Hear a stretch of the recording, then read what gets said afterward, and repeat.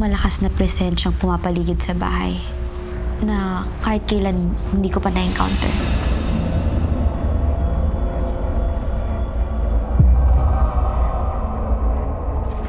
Alam mo ba itong ate Grace mo? Napakagaling na espiritista niyan. Bata pa lang siya, lapitin na siya ng mga espiritu. Lalong-lalo na kapag dumarating yung Holy Week ko nga alam kung bakit eh. Ate Grace, anong nangyari? Alam mo ba kung ano yung mga jin? Mga demonyo. Kaya kayo tinatanggihan ng iba. Layas! Ano ba talaga ang kailangan sa kanya ng mga jin? Aurora? Base sa pagkakaalam ko sa mga jin, kumakapit sila sa ating mga takot. Tito? Nagsimula na.